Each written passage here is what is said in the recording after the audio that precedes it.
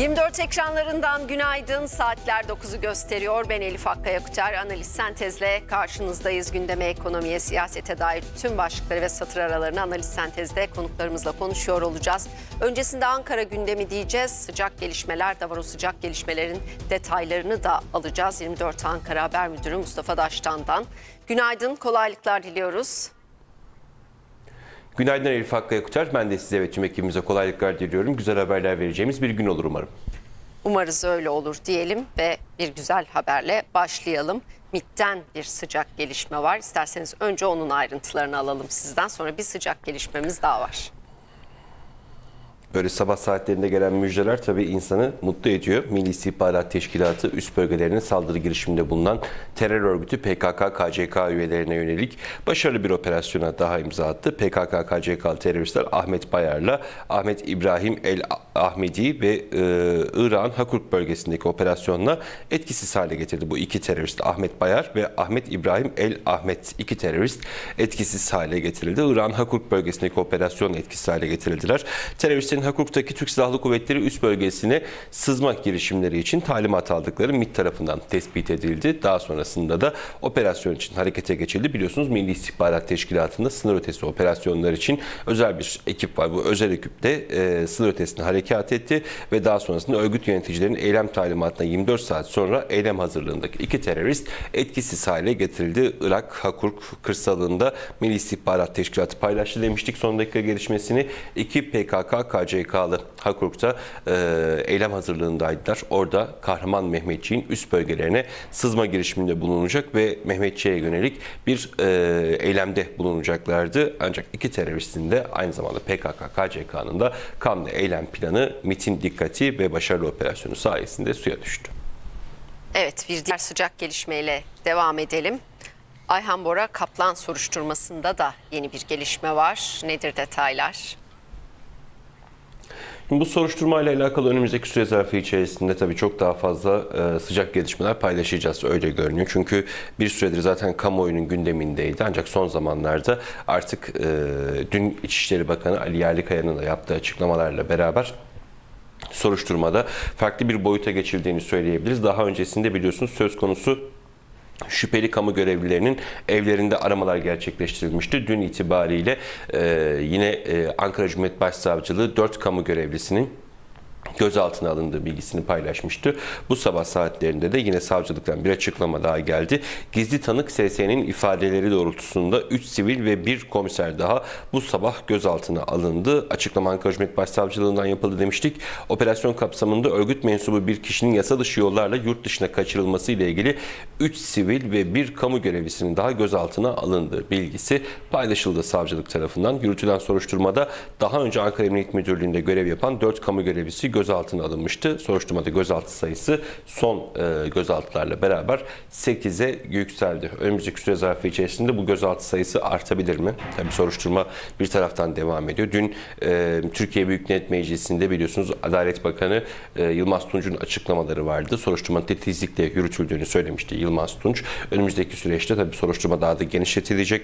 Ayhan Bora Kaplan suç örgütüne yönelik dava görülmeye devam ediliyor. Ancak bu noktada davanın e, sulandırılması kapatılmasına aslına bakarsanız dosyanın kapatılması için bazı e, suç örgütünün attığı adımları biz burada net bir şekilde görüyoruz. E, ancak devlet de bunun farkında ve buna yönelik de gerekli e, adımların hepsi atılıyor. Dün İçişleri Bakanı Ali Yerlikaya'nın bir açıklaması vardı demiştik.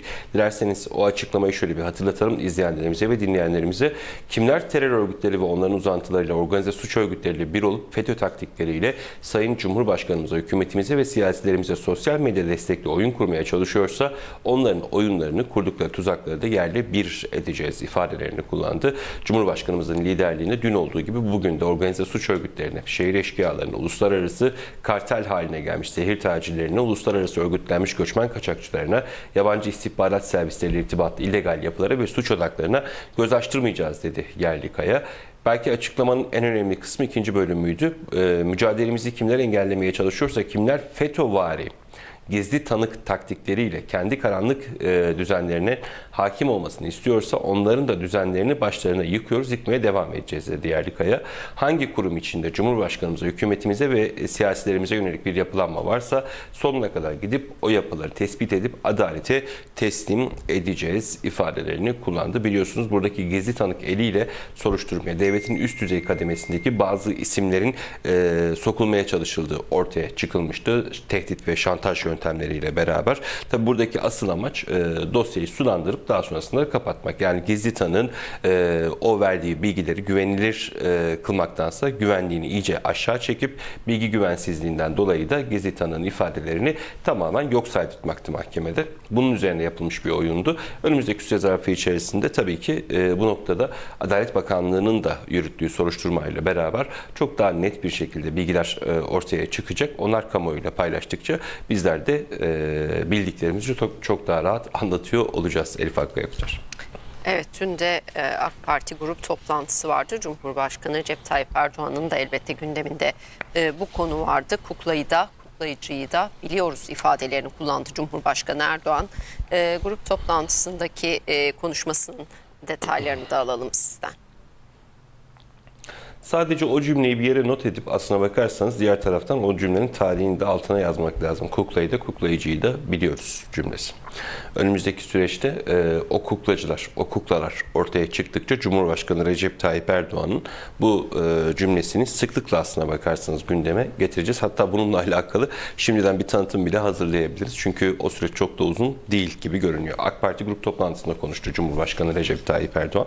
E, son dönemde gündeme gelen her olayı dikkatle takip ettiklerini belirtti. Kanun dışına çıkan, hatası olan kim varsa hukuk zemininde hesabını mutlaka soruyoruz vurgusu da konuşması içerisindeki dikkat çeken noktalar arasındaydı. Bürokratik vesayeti e, dikkati çekti. Bürokratik vesayetle 21 yıldır mücadele ettik, e, bastırdık. Bir daha hortlamasına izin vermeyiz dedi Cumhurbaşkanı Recep Tayyip Erdoğan.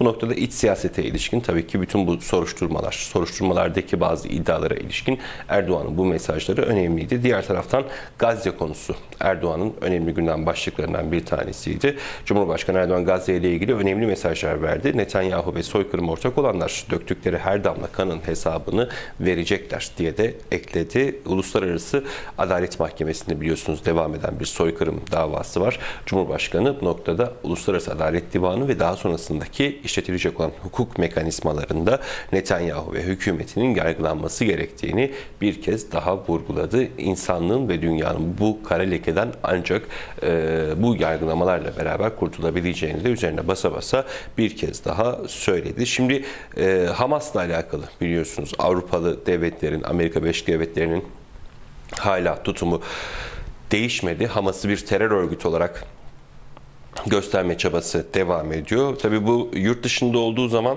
zaten alışkınız yurt dışında olmasına da Diğer taraftan Türkiye içerisindeki bazı odaklar tarafından da bu noktada e, biliyorsunuz e, çeşitli zamanlarda farklı açıklamalar yapılıyor ve Hamas bir terör örgütü gibi gösterilmeye çalışılıyor. Dün Erdoğan Gazze konusunda İsrail'in e, o büyük İsrail planı çerçevesine aslına bakarsanız net bir şekilde ortaya koydu. Şimdi biz 7 Ekim'den bu yana ne diyoruz? 7 Ekim'den bu yana konuşulan acaba İsrail nerede duracak? Ama İsrail'in de o büyük İsrail planı çerçevesinde hani vaat edilmiş, sözde vaat edilmiş topraklar çerçevesinde e, durması gibi bir durum söz konusu değil. Yani Refah'tan Mısır'a, Mısır'dan sonra da Anadolu'ya doğru gelecek olan bir e, soykırım zihniyetinden bahsediyoruz. Erdoğan e, net bir şekilde ilk kez belki de Anadolu'nun asıl hedef olduğunu e, AK Parti grup toplantısında vurguladı ve Hamas'ın kendi topraklarını savunan bir direniş örgütü olduğunu bir kez daha belirtti. Bir direniş gücü olduğunu bir kez daha belirtti.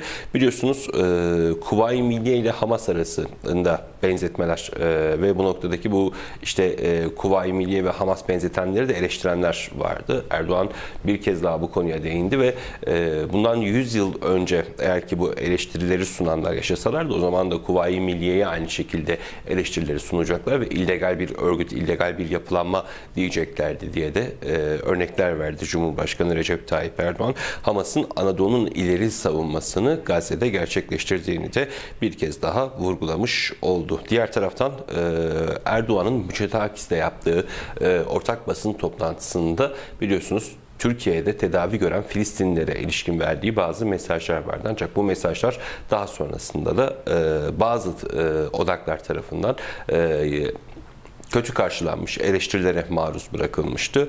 Ee, buradaki yaralı Filistinlilerin Türkiye'de e, tedavi görmeye devam edeceğini bir kez daha belirtti Cumhurbaşkanı Recep Tayyip Erdoğan. Türkiye eski Türkiye değil, Türkiye çok daha güçlü bir devlettir vurgusu da yine konuşması içerisinde dikkat çeken noktalar arasında Elif Hakkı Yakıtar. Evet ardından da Türkiye Odalar ve Borsalar Birliği Genel Kurulu'ndaydı Cumhurbaşkanı Erdoğan. Er, elbette buradaki mesajları ağırlıklı olarak ekonomiye ilişkindi. Şimdi Odalar ve Borsalar Birliği'nde genel kurulunda konuştu Erdoğan. E, kamuda tasarruf ve verimlilik paketinin sadece 3 yıllık bir hedef olarak görülmemesi gerektiğini bir kez daha belirtti. Biliyorsunuz daha öncesinde Hazine ve Maliye Bakanı Mehmet Şimşek e, külliyede gerçekleştirilen ortak basın toplantısında bu paketin detaylarını paylaşmıştı. Ancak o paket içerisinde genel itibariyle ya 3 yıllık e, süreli maddeler ya da e, bundan sonraki süreçte süresiz olarak yapılacak olan adımlar sıralanmıştı. O 3 yıllık süreli yani maddelerle alakalı da Cumhurbaşkanı Recep Tayyip Erdoğan bunun sadece 3 yıllık bir paket olarak görülmemesi gerektiğini, uygulamalar kapsamında elde edilecek verilerle beraber ekonomide aslına bakarsanız yeni bir e, düzenin şu anda inşa edilmeye çalışıldığını anlattı dün Türkiye Odalar ve Borsalar Birliği'nde. Kamuda tasarruf kültürünü kurumsal bir niteliğe kavuşturarak bu konudaki farkındalığın sürekli yüksek kalmasını sağlayacağız dedi. Erdoğan kamu kurumlarının millete ve iş dünyasının tasarruf kültüründe de örnek olmasını hedeflediklerini belirtti. Bu mesajların hepsi önemli çünkü biliyorsunuz bugüne kadar e, Türkiye'de yani e, Türkiye'nin kurulduğu, Türkiye Cumhuriyeti Devleti'nin kurulduğu ilk günden bugüne kadar ekonomide çeşitli tedbirler zaten hayata geçirilmişti. Ee, ekonomide kurulan, hayata geçirilen çeşitli tedbirlerin hepsi kısa dönemli ya da yaşanılan dönemle alakalı sınırlı e, çerçevede yapılmış olan atılımlardı. Ancak bu kamuda tasarruf tedbirleri eğer ki Erdoğan'ın söylediği bu kültür oturtulursa devlet kurumlarındaki o tasarruf tedbirleri e, tamamen bir kültür haline getirilebilirse tabi buradan e, aynı zamanda millete yönelik de bazı örnekler çıkartılacaktır. Aynı sıfır atıkta olduğu gibi. Biliyorsunuz sıfır atık konusu da Cumhurbaşkanı Recep Tayyip Erdoğan'ın eşi Emin Erdoğan himayesinde ilk olarak kamu kurumlarında başlatılmış. Atık ayrıştırmaları ilk olarak kamu kurumlarında e, görünür hallerde gerçekleştirilmiş. Daha sonrasında da artık e, vatandaşta bunun bir bilinci oluşmaya başlamıştı ve Türkiye şu anda bu noktada sıfır atık konusunda dünyaya örnek olan ülkelerden bir tanesi. Atık ayrıştırmada en başarılı ülkelerden bir tanesi haline geldik şu anda. Önümüzdeki süreçte bu kamudaki tasarruf tedbirleri de eğer ki bu şekilde uygulanır ve dirayetli yöneticiler tarafından da e, herhangi bir şekilde yan yollara sapmak ya da idarenin verdiği kararlara yönelik bazı ihtilaflar meydana gelmezse e, ki bu ihtilaflar meydana geldiğinde biliyorsunuz Cumhurbaşkanı Recep Tayyip Erdoğan'ın yönetiminde e, idari ve e, cezai yaptırımların gerçekleştirileceği net bir şekilde ortaya konmuştu. E, hadi bunu da göz önüne alabilecek olan e, baba varsa bakalım e, bununla alakalı gerekli adımların atılacağı ve e, bu noktada asla taviz verilmeyeceği de bir kez daha belirtildi ve kamudaki tasarruf tedbirlerinin tüm Türkiye'nin tasarruf tedbirleri haline geleceğini aslına bakarsanız anlattı. Cumhurbaşkanı Recep Tayyip Erdoğan dün topta gerçekleştirdiği açıklamalarda istihdam konusu da Erdoğan'ın gündemindeki önemli başlıklar arasındaydı. İstihdamda e, sadece devlet odaklı bir yaklaşımın aslına bakarsanız yanlış bir bakış açısı olduğunu bir kez daha söyledi ve özel sektöründe bu noktada üzerine düşenin yapması gerektiğini bir kez daha vurguladı. Cumhurbaşkanı Recep Tayyip Erdoğan geçmiş e, geçmiş sürelerde biliyorsunuz özel sektörün istihdama yönelik artısıyla ilgili pek çok teşvik gerçekleştirilmişti. Zaten bu noktada devletin herhangi bir şekilde geri adım atması söz konusu değil. İstihdam aynı zamanda Türk ekonomisinin büyümesi anlamına da geliyor. Kamuda tasarruf tedbirleri noktasında da bu konuya değinilmiş ve istihdama desteğin devam edeceğinin üzerinde durulmuştu o paket içerisinde. Cumhurbaşkanı Recep Tayyip Erdoğan da bir kez daha bu konuya dikkati çekti ve istihdam konusunda sadece devlet modeliyle hareket edilmemesi gerektiğini, özel sektöründe bir kez daha elini taşın altına koyması gerektiğini vurguladı. Bu e, toptaki programın ardından önemli bir gelişme daha yaşandı. Toptaki programda Cumhurbaşkanı Recep Tayyip Erdoğan konuşuyorken Ankara'yı bilenler e, anlayacaklardır. Top ikiz kulelerinin hemen önünde e, Türkiye'nin yerli ve milli otomobili e, TOG'un T10F modeli, 10F modeli e, park etmiş halde bulunuyordu. Biliyorsunuz Mart 2025'te artık üretime geçecek ve daha sonrasında da Türkiye, önce Türkiye yollarında daha sonrasında da e, kardeşi T10X gibi Avrupa yollarında. E, o sırada tabii T10X çoktan Avrupa yollarını arşınlamaya başlamış olacak. E, Avrupa yollarında e, görmeye başlayacağız T10F'i.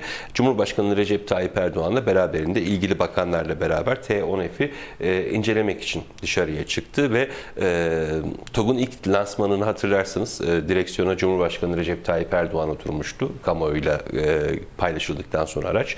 T10F'le de e, ilk kez direksiyona Cumhurbaşkanı Recep Tayyip Erdoğan oturdu yine.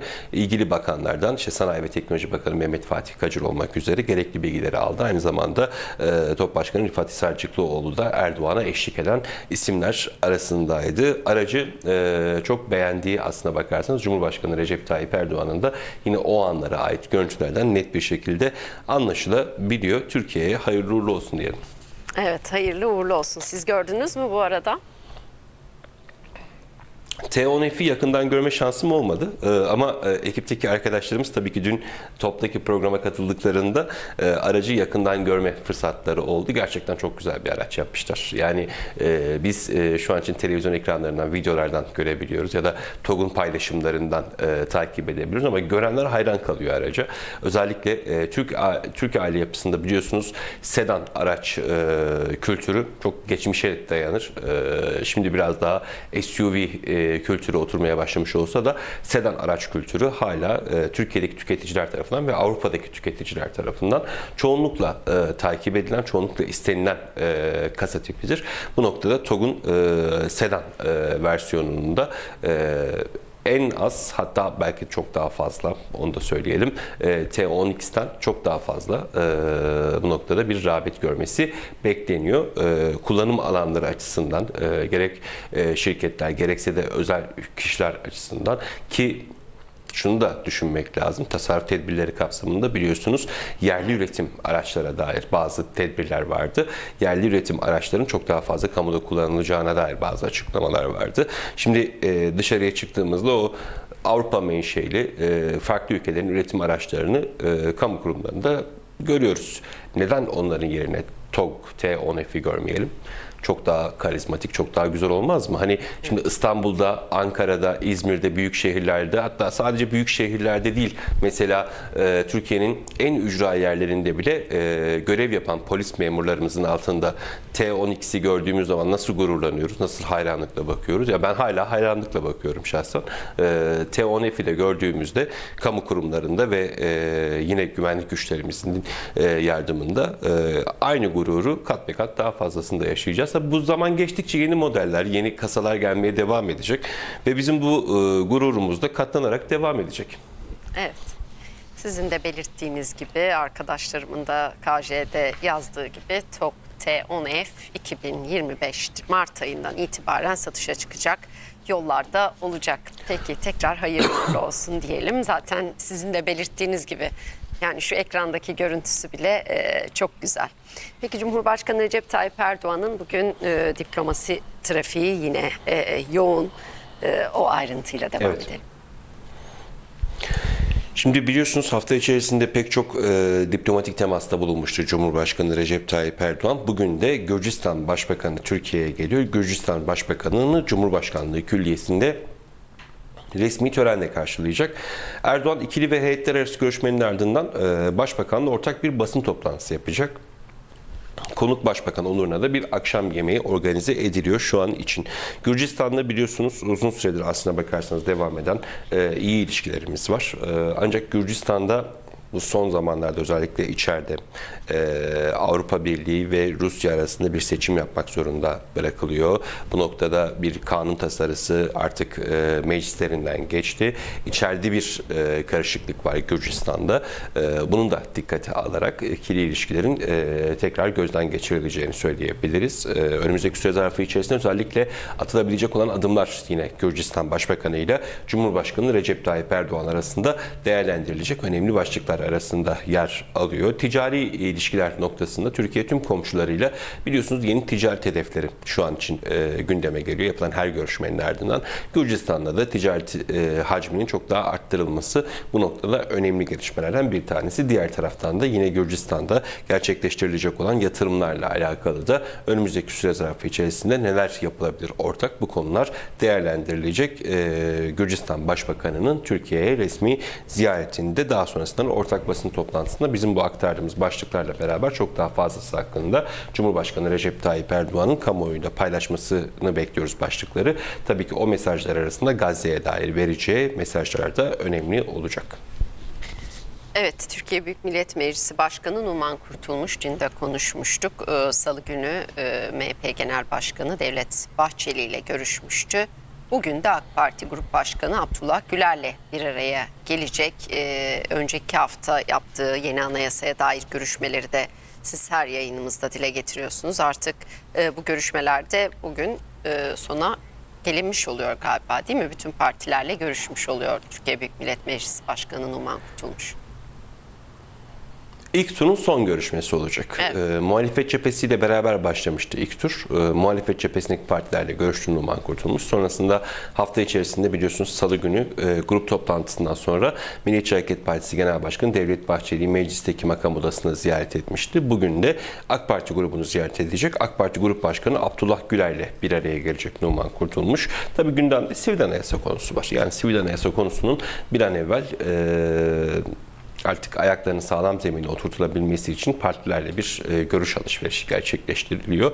E, daha sonrasında da çalışmalar çok daha hızlı bir şekilde devam edecek. Dün Erdoğan'ın e, yaptığı açıklamalar arasında, grup toplantısındaki yaptığı açıklamalar arasında net bir şekilde aslına bakarsanız şunu söyledi. Kaybedecek zamanımız yok ama sağlam zeminde ve e, sürekli bir şekilde devam edilmeli mesajını verdi Cumhurbaşkanı Recep Tayyip Erdoğan sivil anayasa konusunda. E, hani kaybedecek zamanımız yok derken onu da böyle çok büyük zamanlara yaymayalım. 4 yıllık, 5 yıllık, 6 yıllık süreçlerle e, ilgili bir e, şey değil aslına bakarsanız bu. Ama emin adımlarla yolumuza devam Evet. edelim. Sorunları aşarak yolumuza devam edelim demek istedi Cumhurbaşkanı Recep Tayyip Erdoğan. Bugün de e, ilk turun ilk son ziyaretini gerçekleştirecek. Türkiye Büyük Millet Meclisi Başkanı Numan Kurtulmuş, AK Parti Grup Başkanı Abdullah Güler'le bir araya gelecek. Daha sonrasında tabii ki bu ilk tur ziyaretlerin ardından genel kuruldaki yansımalara bakılacak. Genel kuruldaki yansımalar e, sonrasında da bu ziyaretler hem partiler arasında hem de Meclis Başkanı Numan Kurtulmuş tarafından düzenlenmeye devam edecek. Peki çok teşekkür ediyoruz. 24 Ankara Haber Müdürü Mustafa Daş'tan size ve ekibinize kolaylıklar diliyoruz. Analiz sentezde de kısacık bir araya gidiyoruz.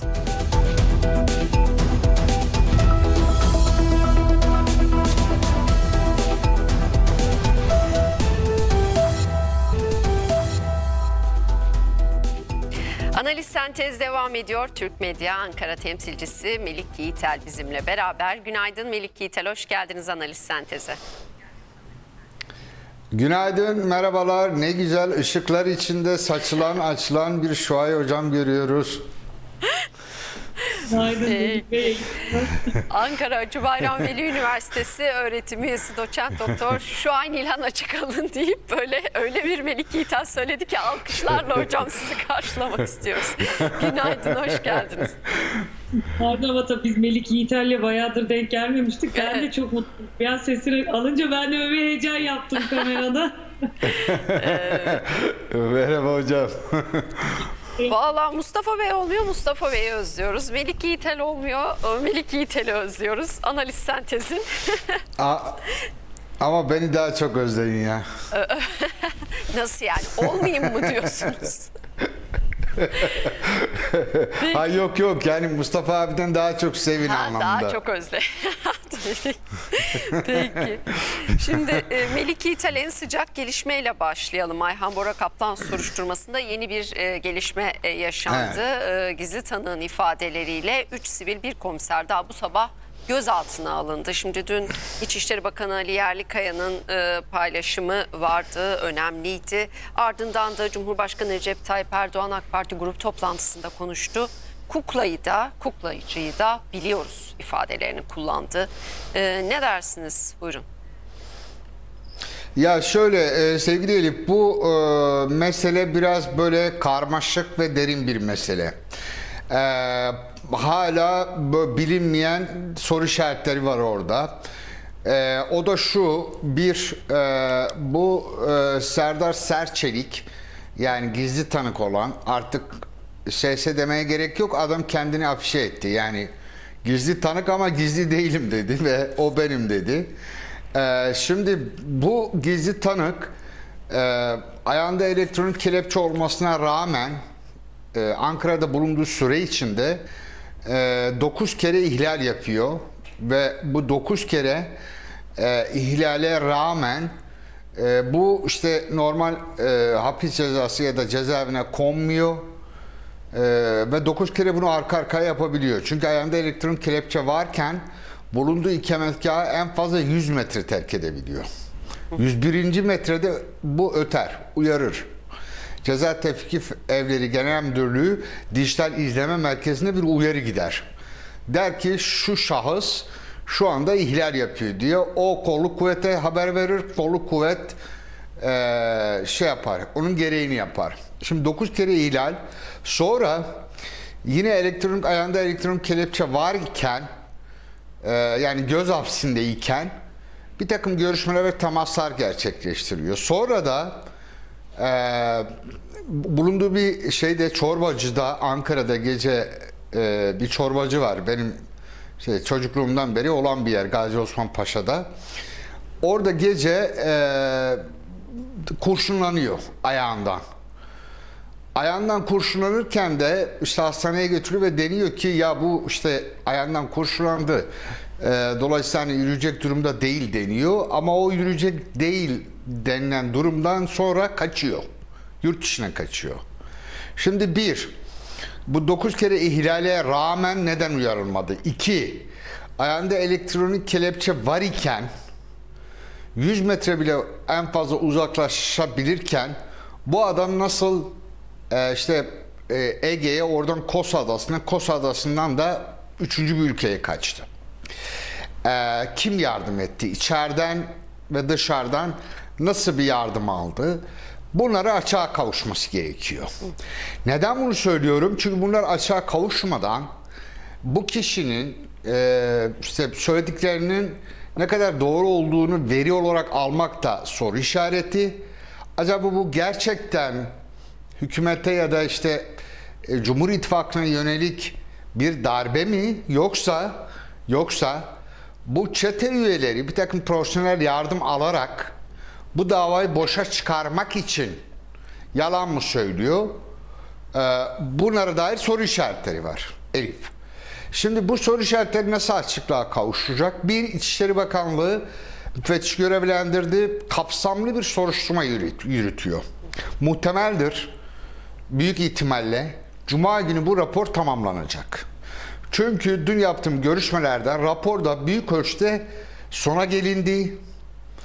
Bir, birkaç işlem daha olup raporun tamamlanacağı e, söylendi. Dolayısıyla muhtemeldir ki Cuma günü bu rapor tamamlanacak. Mülki müfessirlerin bu raporunda ne çıkacak ortaya?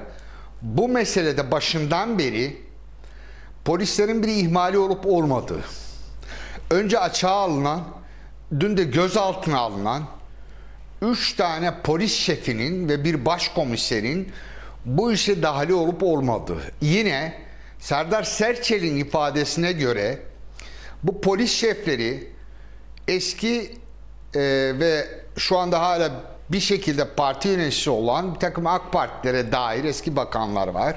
Mevcut bakanlar var, bürokratlar var. Bunların bu çetenin içinde yer aldığına dair e, bu isimleri söylemesine dair dikte ettirici ki bu eğer böyle bir şey varsa bu tamamen e, Sayın Bahçeli'nin dediği gibi 17-25 Aralık benzeri bir şey olduğunu bize gösteriyor ve evet hükümete yönelik e, bir operasyonla karşı karşıya, bir komployla karşı karşıya olduğumuzu gösteriyor. Eğer gerçekten bu polis şefleri bu isimleri ona dikte ettirdi ise. Neden ise diyorum ısrarla. Çünkü şu anda biz sadece Serdar Serçelik'in anlatığına bakarak e, bunun böyle olduğunu tartışıyoruz. Polis şefleri ise böyle bir şey olmadığını, e, sosyal medyada, YouTube'da yayınlanan ses kayıtlarının Serdar Serçelik yurt dışındayken, Kıbrıs'tayken gelmesi için işte bir ikna çabası. Tırnak içinde amiyane tabirle gel gel yaptık. O yüzden de bu isimleri kendi söyledi biz de her şeye he dedik yeter ki gelsin. Bu gerçekten böyle mi? Yoksa Serdar Serçel'in dediği gibi polis şefleri mi dikte ettirdi? Eğer bu polis şefleri dikte ettirdiyse orada da problemimiz bitmiyor. O zaman işte kuklacı ulaşmamız gerekiyor. Kim ya da kimler bunu organize etti? Polis şefleri tek başına mı bunu yaptı ki tek başına çok zor oluyor eğer bu ise bunun bir kere savcı hakim ayağı gerekiyor e, ve bir şekilde e, bir yönetici erki gerekiyor. E, diğer bir şey e, uzattım ama hızlıca toparlıyorum. E, şimdi diğer unsur da şu FETÖ'nün dahli meselesi sevgili Elif. Şimdi e, FETÖ içeride bu polis şefleri üzerinden bir operasyon mu çekti yoksa bu tanık, gizli tanık yurt dışına kaçtıktan sonra FETÖ oyuna dahil mi oldu? Bana sorarsanız sonrasına dahil olmuş gibi görünüyor. Bu ama bir gazeteci yani yaptığım görüşmeler, eldeki bilgiler biraz bu meseleyi de ben uzun uzun çalıştım çünkü. Hakikaten bayağı emek verdim. Şimdi e, şeye baktığında e, Serdar Serçelik kaçtıktan sonra FETÖ bunu bayağı böyle e, şey yapıyor. Kullanışlı bir alan aparat olarak görüp üzerine abandığı çok açık. Ona yakın haber siteleri, işte sosyal medyacılar, eski firari gazeteciler bunun üzerine abanıyor ve köpürtmeye çalışıyor. Artı yayınlanan bir takım böyle videolar e, böyle bir post production hali var. Yani profesyonel anlamda yapılmış. Televizyonculuğu biliyoruz. Öyle kes yapıştır e, ancak yapabilir bir kişi. Bu işi çok bilmiyorsa. Ama iyi biliyorsa bu böyle post production hani böyle şey gibi Netflix'teki diziler gibi olur. Şimdi e, dolayısıyla burada bir profesyonel yardım alınmış. E, diğer taraftan da bir soru işareti daha.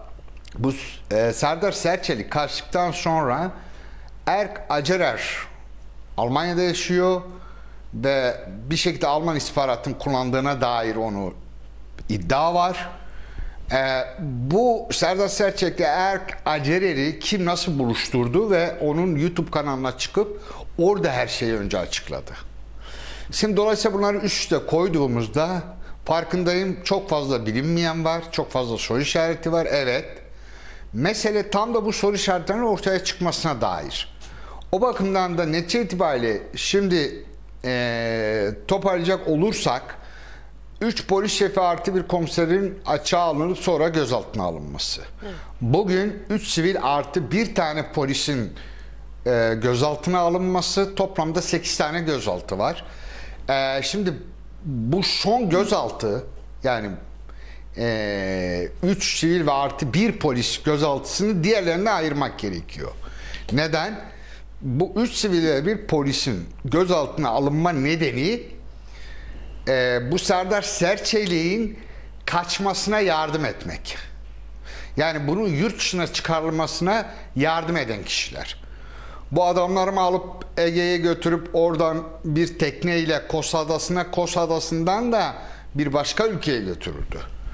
Ee, bu ülkenin kimisine göre işte Dubai olduğu, kimisine göre işte Almanya olduğu söyleniyor.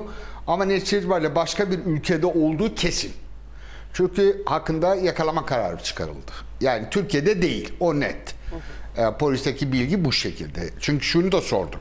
Yani ola ki bu adam hani yurt dışındayım deyip işte Çorum'dan Yozgat'tan çıkabilir mi diye sordum. Hayır dediler. Yani kesin yurt dışına kaçtı. Şimdi dolayısıyla hani bu kesin yurt dışına kaçtı bölümüyle ilgili bu son gözaltılar. Ama ilk gözaltılar sevgili Elif o meselenin başladığı yer. Çünkü bu dört polisin bir özelliği var. O da şu.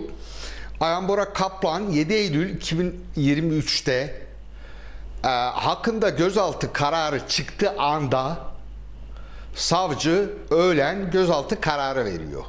Bu adamı yakalayın. Bu adam çete ve bu adam işte bir takım cinayetler, adam yaralama, e, şey çek senet, e, rüşvet alma, tehdit, şantaj bayağı böyle kavarak bir dosyası var ama iki tane de cinayetle suçlanıyor. Ee, hakkında yakalama kararı öğlen saatlerinde çıkarılıyor. Akşam saatlerinde Ayhan Bora Kaplan Esenboğa Havalimanı'nın girişinde operasyonla yakalanıyor. İşte bu dört kişi bizzat operasyonu yapanlar. Yani Ayhan Bora Kaplan yerdeyken ayakta işte bir takım elbiseli o Ankara Emniyet Müdür Yardımcısı iki tane de bir beyaz tişörtlü bir mavi tişörtlü ve üzerine kapaklanmış. Onlar da polis şefleri. O üçü bir tane de açıda görünmeyen sağ tarafta o da başkomiser. Bu dördü operasyonu yapan kişiler. Yani şu anda e, ilk dalgada gözaltına alınanlar. Şimdi dolayısıyla burada mesele yine bitmiyor. Farkındayım böyle biraz Brezilya dizisi gibi oldu ama şöyle burada bir soru işareti daha var o da şu bu adamın hakkında gözaltı kararı verdikten sonra buna işte alo Ayhan Bora Kaplan seni yakalayacaklar kaç bunu kim dedi? Çünkü bu bir hakkında yakalama kararı verilen savcılık biliyor bir de operasyonu yapan polisler biliyor. O birim biliyor. Melik Yiğiter bilmiyor. Elif Akkaya bilmiyor. Şuayn İlhan Açıkalın bilmiyor. Bu ikisi, iki yer biliyor. Şimdi dolayısıyla buna kaç seni alacaklar diyen yargının içinde birilerin, po- polislerin içinde birilerin bunu da açığa çıkması gerekiyor. Özetle üçüncü bir dalga gözaltı gelme ihtimali de var. Ama e, büyük ölçüde e, mülkiye müfettişlerinin raporu e, bir şekilde çerçeveyi büyük ölçüde ortaya koyacak. Yani nereden yürümek gerektiği. Bu içeride bir e, hükümete yönelik bir operasyon mu? Bu içerideki operasyonda birilerinin dediği gibi ya da iddia ettiği gibi uyuyan FETÖ hücreleri mi harekete geçti ya da bir başka e, vesayet kurmak isteyen yapı mı harekete geçti? Bize bunun yanıtını verecek ya da ya da bu adam akçeli işlerle daha açık halde söyleyeyim. Rüşvet ve para dağıtarak mı bu sistemi kurdu? Ya da her ikisi değil bu çete profesyonel bir yardım alarak bu davanın içini boşaltmak ve sulandırmak için mi bu isimleri ortaya attı ki ya bak işte ya kardeşim Ayhan Bora Kapral diyorsunuz ama yani Fahrettin Koca'yı da işin içine koydular işte Bekir Bozdağ'ı da işin içine koymuşlar ya bu kadar da olmaz mı dedirtmek için bize yapıldı. Bunun açığa çıkması gerekiyor sevgili evet. Sanırım anlatabildim. Çok güzel Biraz anlattınız. Çok heyecanlı hakikaten- anlattınız. Gerçekten yani- diyorsunuz ya arada Brezilya Evet. dizisi gibi gerçekten böyle Ya evet. herhalde analiz sentezi izleyenler çünkü çok şey- büyük bir Ya şöyle e, çünkü ben ilk yola çıktığımda elimde bir Ayhan Bora Kaplan ismi var hayatımda duymadım. Meğerse Ankara'da bilinen bir mafya babasıymış. Ama yolumuz kesişmedi. Allah iyi ki de kesişmemiş. ben duymamıştım. Bütün Ankara biliyormuş. İki numara Serdar Serçelik bu aynı zamanda böyle biraz Playboy magazin figürü. E, magazinle de ilgilenmediğim için onu da bilmiyorum. Ee, şimdi dolayısıyla iki tane isim, bir tane de tarih 7 Eylül 2023 ta- tarihi vardı. Baya baya uğraştım ama Evet. şöyle hakikaten karmaşık. Karmaşık. Ya matruşka gibi çek çek geliyor, çek çek Evet, geliyor. Ama bu, bu Ee, sonra öğrendim ancak ki, bu kadar evet, net anlatılabilirdi. Teşekkür ediyoruz. Yani Yiğiter. evet çünkü şu anda İçişleri Bakanlığı da bu e, kuantum fiziği problemini çözmeye çalışıyor. Ya bu, bu- o yüzden biraz karışık. Yani o yüzden ülke baş müfettişleri harıl harıl bu işe çalışıyor. Evet sabah da bu sıcak gelişmeyi verdiğimizde 24 Ankara Haber Müdürü e, Mustafa Daş'tan dedi ki işte Cumhurbaşkanı'nın grup toplantısında söylediği kuklayı da kuklacıyı da biliyoruz cümlesini bir yere kaydedin. E, bu konuda çok fazla gelişme takip ediyor olacağız dedi. E, sizin de söylediğiniz gibi bu soru işaretleri bu bilinmeyenler elbette ortadan kalkacak. Ee, Umarız e, çok uzun değil de daha kısa sürede olur diyelim. Şimdi Şuay Hocam, ne yazık ki işte İsrail'de yaşananlar 223. gününde. Ben yine böyle bir gün herhalde yüzlü günlerden söylediğimde demiştiniz ki e, aslında hani biz bu gün sayısını e, bu kadar uzun sürmeyeceğini düşünerek hani bittiği günü e, kaç gün e, bu dram yaşandı bilmek adına ama işte ne yazık ki biz her gün söylemeye devam ediyoruz. 220. gün, 221. gün. Ee, yani çok fazla gelişme oluyor. O oldu, bu oldu ama ne yazık ki e, umutlar da bu olanları aktardıkça, e, bu yaşananları aktardıkça biraz e, ne olacak diye azalmaya başlıyor ki e, son herhalde yaptığımız yayında hatta öyle sanıyorum hem Melik Yiğitel'in hem sizin olduğunuz bir yayında aramızda biraz umutsuz bir e, konuşma geçmişti. Ne dersiniz? Hanım tabii e, 7 Ekim'den itibaren farklı süreçlere tanıklık ettik. Zaman zaman da e, böyle anlarda maalesef umutsuzluk ister istemez oluyor ama tabii bir Müslüman olarak hiçbirimize umutsuzluk yakışmaz. E, bu noktada orada mücadele devam ediyor. Ancak sahaya baktığımızda şu an için Amerika'nın e, karşı çıkıyor gibi göründüğü bir refah operasyonu süreci var. Bunun belli bir kısmının da özellikle e, geçiş kapısı tarafından e, İsrail tarafının bu bölgeye girdiğini zaten biliyoruz. Dolayısıyla şu anda refahta yapacağı operasyon daha ilerleyecek mi, derinleşecek mi? Bununla ilgili aslında amiyane tabirle bir sessizliğin olduğu süreçte çünkü Amerika Birleşik Devletleri tarafından İsrail'e refaha e, girme ya da buradaki operasyonunu derinleştirme çağrısı vardı. İsrail'in de ki hatta e, hem Netanyahu hem de savaş kabinesinin bu noktada Amerika Birleşik Devletleri ile bir görüş ayrılığı yaşadığı da aşikardı. E, süreç Hocam e, bu bu noktada peki bu özde mi sözde mi e, bir çağrıydı? Yani şimdi şöyle tabii ben hep bunu söylüyorum. Amerika Birleşik Devletleri'nin İsrail'e özde bir çağrısı olabilmesi için Amerika Birleşik Devletleri'nin işine gelmesi lazım. Şu an henüz e, tamamen bir eylemsel değişikliğe gitmesi için Amerika'nın sahada Amerika'nın lehine işleyecek bir durum yok. E, ben biraz daha inşallah tabii o döneme kadar bir ateşkes çoktan sağlanmış olur diye düşünüyorum ama sağlanmamışsa e, Amerika'daki seçimler Kasım ayına doğru daha çok ciddi anlamda Amerika Birleşik Devletleri'nin belki İsrail'e bir baskısını Biden tarafından görmemiz mümkün olur. Ama şu an için e, çok gerçekçi bir çağrı değil. Şunu söylemek lazım Elif Hanım, e, Amerika Birleşik Devletleri gerçekten bir şey yapmak istese Birleşmiş Milletler nezdinde ateşkes çağrısı yapar. Amerika bu çağrıyı yaptığı için de bir şekilde bu çağrı kabul edilir ve ortaya bir süreç çıkar ama Amerika Birleşik Devletleri e, bunu yapmıyor, yapmaktan kaçınıyor. E, zaten gündeme getirildiğinde de her zaman ya red ya çekimser oy kullanıyor biliyoruz. Şimdi ikinci olarak şunu da görmek lazım. Amerika Birleşik Devletleri 7 Ekim'den sonra zaman zaman İsrail'e yaptığı yardım, askeri yardım paketleri bu zamana kadar Amerika Birleşik Devletleri İsrail ilişkilerinde e, hiç olmadığı kadar yoğun ve yüksek bütçeli paketler geçirilmiş durumda şu anda. Dolayısıyla Biden yönetimi e, aslında bireysel olarak Netanyahu ve bazı bakanları eleştiren açıklamaları olsa da bütüncül olarak Amerika Birleşik Devletleri'nin kendilerinin tabiriyle İsrail'e sarsılmaz desteğinin devam ettiğini görüyoruz. Şimdi o yüzden bu bağlamda Amerika'nın e, söylemsel bir e, çağrısı süreci İsrail açısından yavaşlatmış gibi gözükse de henüz eylemsel noktada Amerika Birleşik Devletleri İsrail durduracak bir hamle yapmadı bana göre. Şunu da söylemek lazım tabii özellikle yabancı kamuoyunda şöyle tartışmalar da var. Yani istese İsrail Amerikasız bu süreci sürdürebilir mi? Bence hayır çok kolay değil çünkü e, İsrail'in sürdürdüğü bu soykırımında ciddi bir maliyeti var İsrail tarafına. Özellikle e, baktığınız zaman hem kullandığı yüksek teknolojili mühimmat hem de e, ordunun dağınık bir şekilde aslında karşısında bulunan yani gerilla taktiğiyle savaşan Hamas'a karşı e, hem başarılı olup olmadığı tartışmalarını da İsrail kamuoyunda göz önüne alırsak bu çok tek başına kolay bir iş değil. Dolayısıyla e, şimdilik bu süreçte maalesef ateşkesi tekrar konuşamadığımız ama refaha bir operasyon derinleşecek mi derinleşmeyecek mi tartışmalarını konuştuğumuz bir sürece tanıklık ediyoruz. Bir nokta daha var.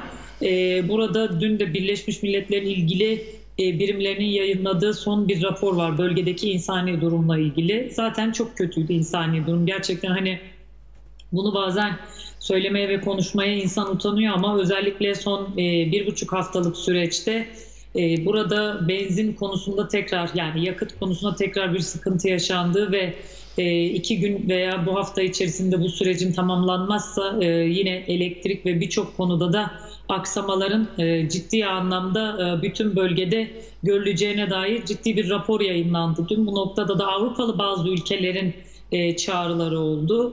Ancak henüz çok da bir karşılık bulabildiğini söylemek mümkün değil. Maalesef umutsuzluk demeyelim ama şu anki var olan süreçteki sahanın gerçekleri bu noktada.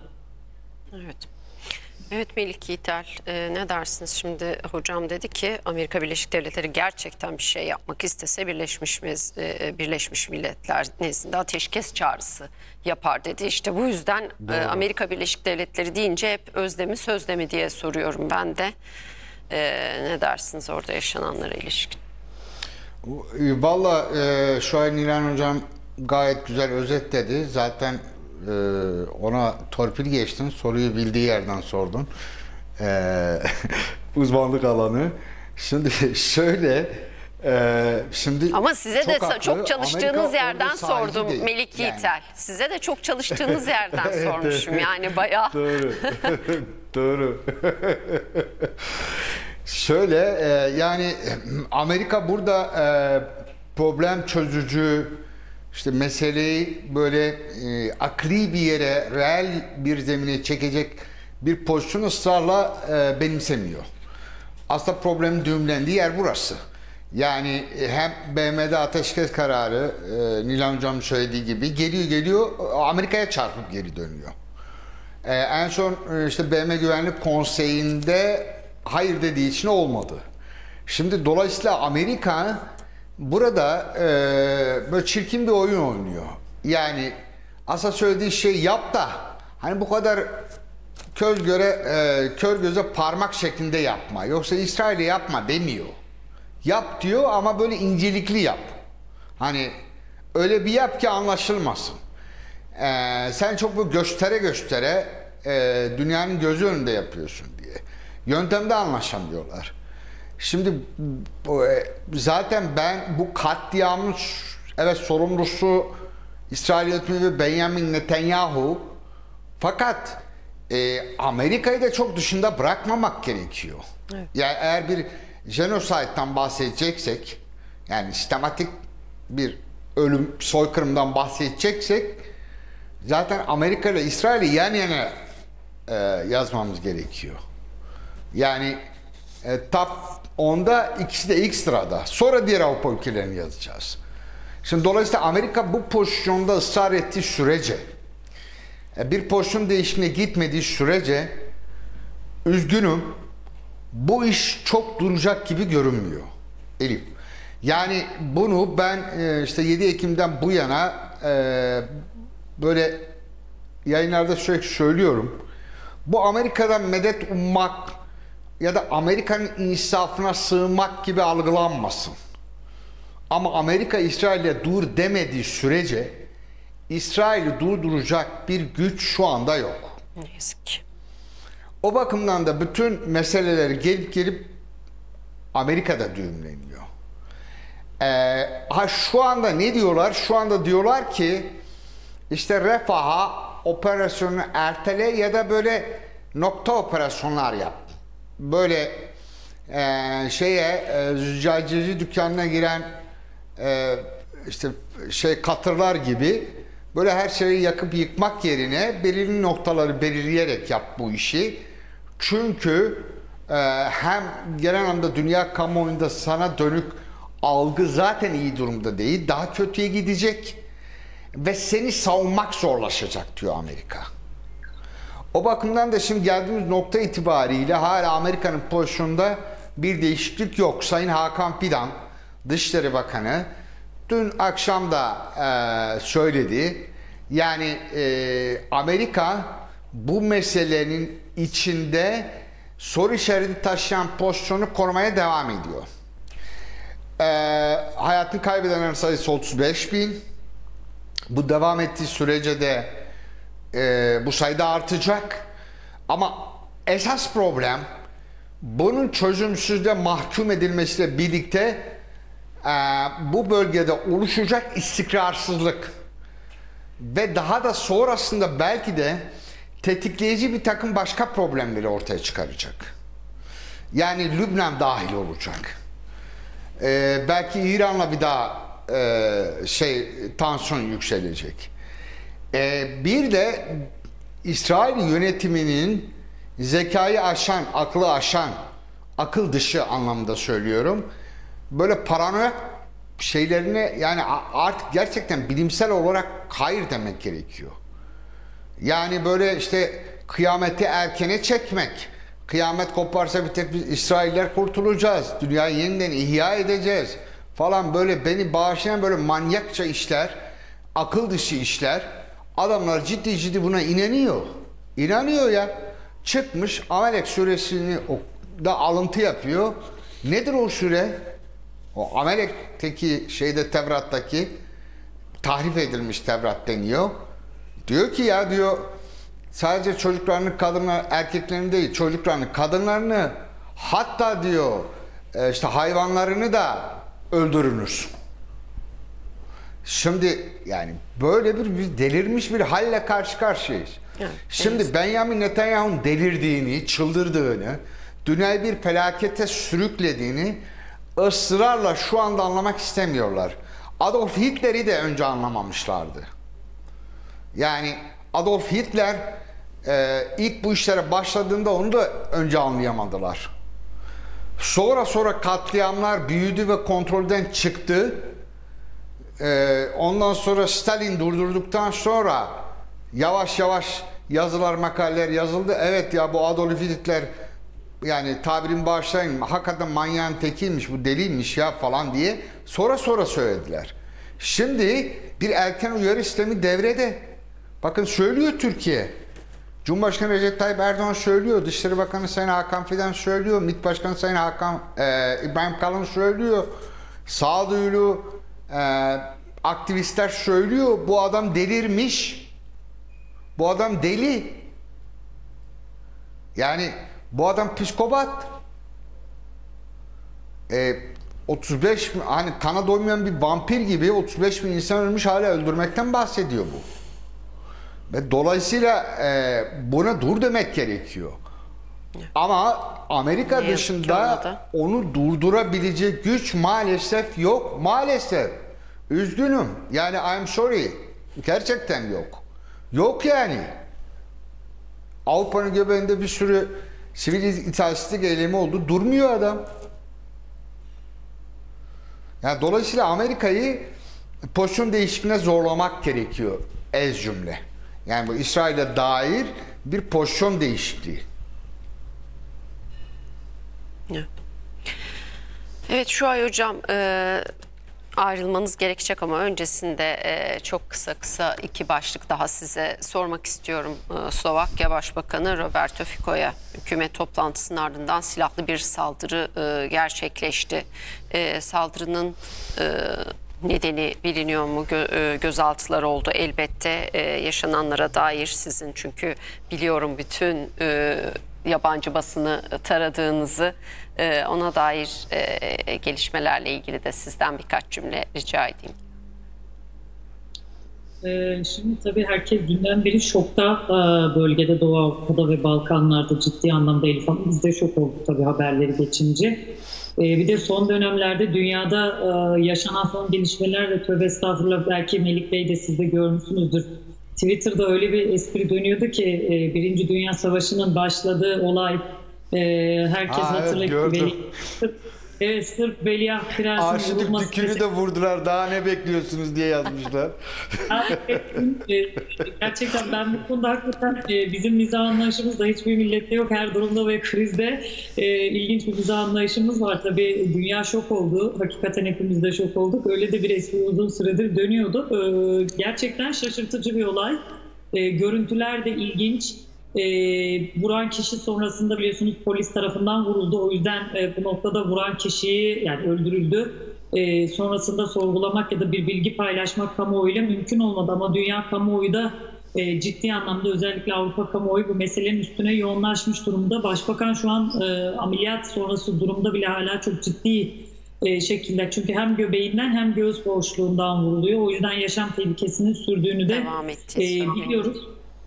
Tabii şunu söylemek lazım. Slovakya Başbakanı e, herkes çok hani e, küçük bir ülke olduğu için Doğu Avrupa'da ve Balkanlarda bu bağlamda hani Slovakya Başbakanı e, konusunda son dönemde öne çıkan bir isimdi aslında kendi bölgesinde. Hatta geçtiğimiz hafta içerisinde Azerbaycan'a bir ziyaret gerçekleştirmişti. Bu noktada bizim de zaman zaman kamuoyuna gündemimize giren konularla ilgili pozitif gelişmeler vardı. Hem Türkiye hem e, Orta Asya ülkeleriyle yakın ilişki kurmak isteyen bu noktada e, ilginç bir şekilde son dönemki Avrupa siyasetinin dışına çıkan oldukça aktif bir başbakandı. Hatta e, Brüksel'de dün e, bazı e, yani Avrupa Birliği'ne daha yakın olan bazı e, medya organları ve e, bloklarda dün ilginç bir şekilde kendisinin vurulmasından sonra şöyle başlıklarda gördük.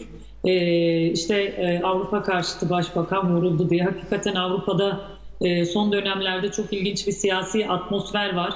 Yani Başbakan Fico'nun vurulmasının ötesinde e, birçok ülkede yoğunluklu bir şekilde Avrupa Birliği karşıtı lider biz çok fazla görüyoruz. Tabii Avrupa Birliği karşıtını da şöyle okumak lazım. Avrupa Birliği'nin dışında dünyanın birçok ülkesiyle ilişki geliştirmek isteyen, çok yönlü dünyaya bakan artık liderler var Avrupa'da. Dolayısıyla ilginç bir süreç sürecin içindeyiz. Bundan sonraki süreçte biraz daha bölge ülkelerinde de yoğun güvenlik önlemleri arttırılmış durumda. Çünkü gerçekten e, bu bölge e, zaten kendi üzerinde e, hali hazırda gerilimi olan bir bölge yani. Şimdi Evet. bu ülkelerin çoğu Avrupa Birliği ülkesi ama e, özellikle işte Slovakya, Hırvatistan baktığınız zaman bunlar Balkanlar için e, kritik ülkeler.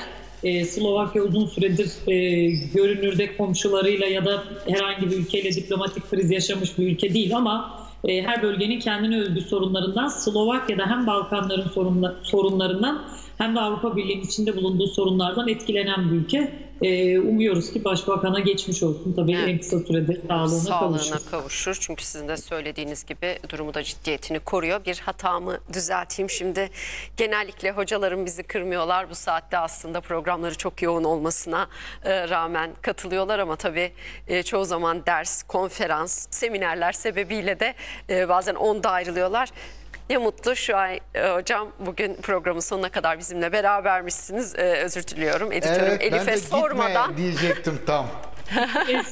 Ben de tam gitme hocam diyecektim. Evet ve Galatasaray Üniversitesi öğretim üyesi doçent doktor Ata Özkaya da bizimle beraber. Hocam günaydın, hoş geldiniz. Aa, Günaydın, hoş bulduk. İyi günler diliyorum. Çok selamlar ee, Şuay Hocam'a, Melik Bey'e.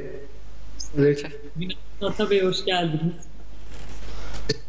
Saygılar hocam. Ata hocam bütün yakışıklılığıyla belirdi. Bir süre e, bir süre sessiz kaldım bu iltifat gelsin sonra başlayalım diye Ata Hocam. Teşekkür ederiz. Yapacaksa yani yayın sayısını arttıralım. Bilmiyorum sabah bir akşam yapalım. Benim moralim çok güzel. evet. Gerçekten öyle. O, olay ne olursa olsun Melik Yiğitel bir araya bizi gülümsetiyor. Yani e, çok e, trajik bir şey bile konuşsak e, sağ olsun yüzümüzü gülümsetiyor. Peki. Şimdi Ata Hocam e, bu haftanın en önemli e, gündemlerinden biri kamuda tasarruf ve verimlilik paketiydi. Artık e, bütün detayları e, hepimiz e, biliyoruz. 8 ana başlık var, 25 madde ama altının da 250'nin üzerinde başlık var. Eleştiriler de var, öneriler var ki zaten Hazine ve Maliye Bakanı Mehmet Şimşek'in başında da sonunda da belirttiği bir şey var. Bu başlangıç bunların devamı gelecek. Ne dersiniz sıkılaşmanın şifreleriyle ilgili? Yaza doğru... Paylaşacağız dedi e, nasıl gittiğini Hazine ve Maliye Bakanı Mehmet Şimşek. E, sizce tasarrufa ne kadar e, faydası olacak? 3 yıl sürekli e, konuşuluyor işte 3 yıl e, geçerli olacak e, birçok madde. 3 yılın sonunda nelerden ne kadar tasarruf etmiş olacağız? Buyurun. Ee, aslında bunu e, Sayın Bakan'ın e, açıklaması gerekiyor. Da bir program dahilinde açıklanması gerekiyor. Bu kalemlerden ne kadar bir tasarruf İşte beklendiğini. yaz aylarında e, hocam e, bununla ilgili e, önemli bir e, şey ver paylaşmış olacağız ifadesini kullandı dün.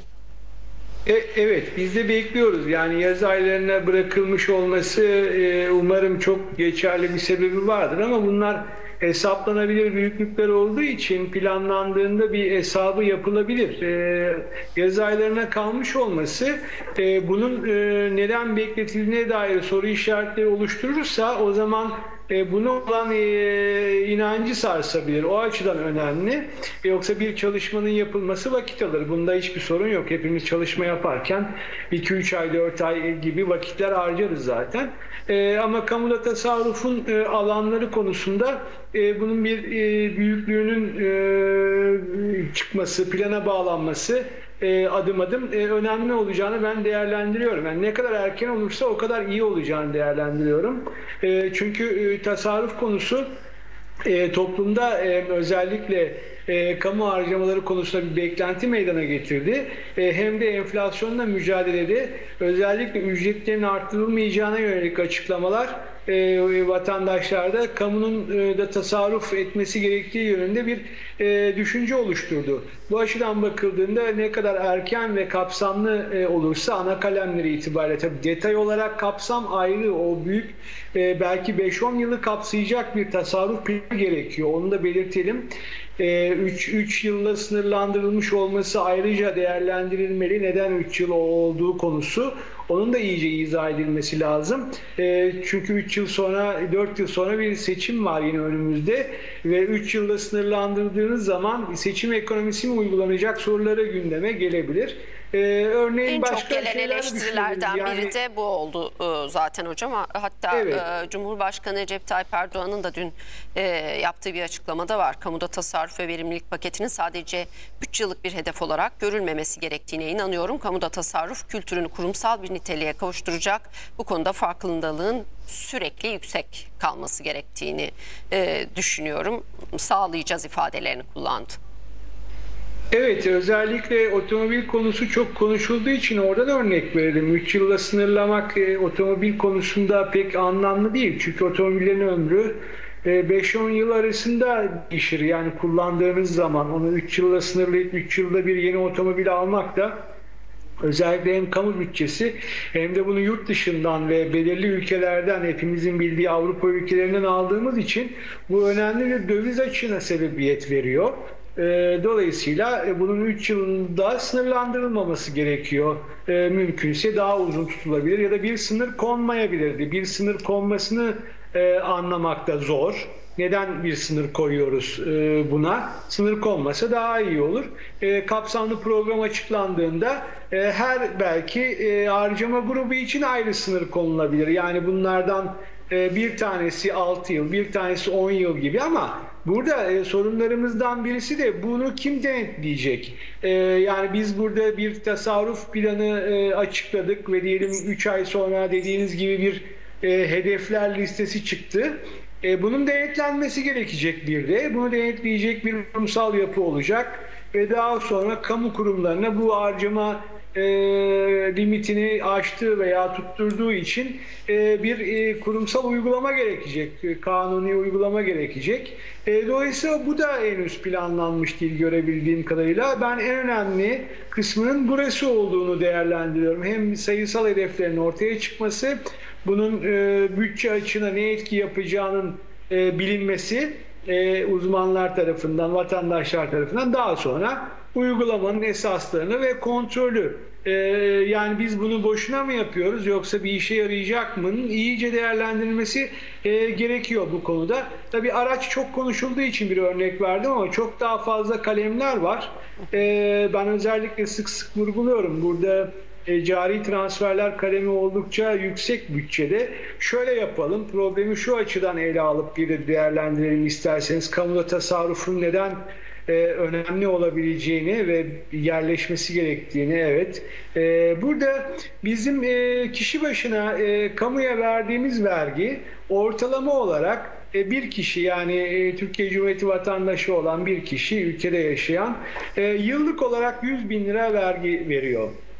E, toplanan vergi gelirlerini e, adrese kayıtlı e, nüfus e, sisteminde 85 milyon olduğumuz göz önüne alındığı için 8,5 trilyon 85 milyona böldüğünüz zaman basitçe ortalama olarak 100 bin lira yıllık vergi çıkar.